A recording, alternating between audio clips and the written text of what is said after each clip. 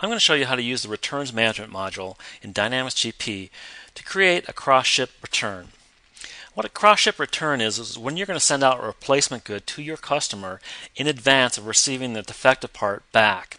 So the tricky part is to make sure that if you send something out that you do get the return item back, and if you do get the return item back, you want to credit that customer for that advanced shipment.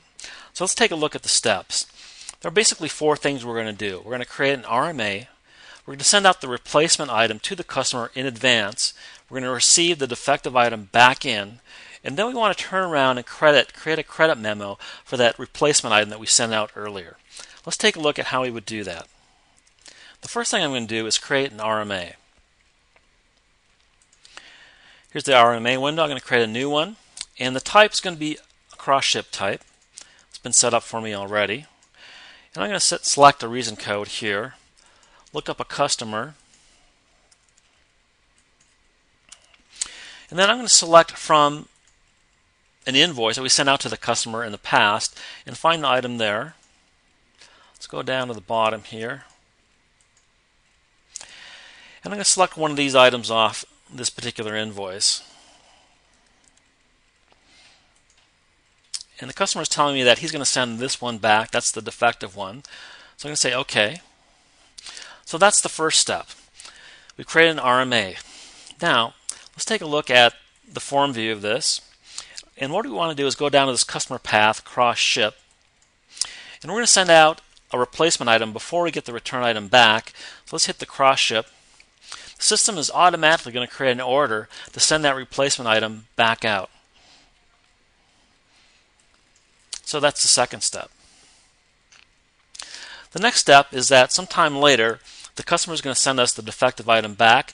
We want to replace that or we want to return that into our system. So let's do that. We're going to receive that RMA and we're going to post that and print a traveler. Let's do that. Let's take a look at that traveler. This is the standard traveler that comes with the system. You can attach this to the item when it comes back in. So now the item's been returned. It gets returned to the RMA, and we haven't disposed of it yet. So that's really the next step. Let's go into that RMA again.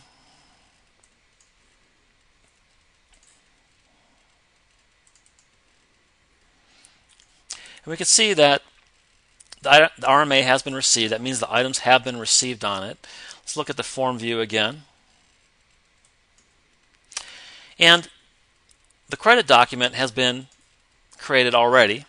And again, this is the credit document that's going to be applied against that replacement item we sent out earlier. And then the next step is really, we've got that item in, what are we going to do with it? There's a couple possibilities. If you're using depot management, you can create a work order, refurb it, or you can return it to the vendor. But all I'm going to do is return it back to stock. Just hit return stock, and now I'm done with it. That order is done, the RMA is done. So the next step is to say ready close. I'm going to close out that RMA and I am done.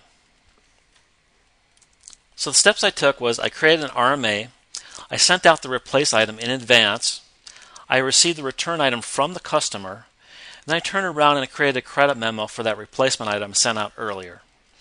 And that's the steps to create a cross-ship return in returns management in Dynamics GP.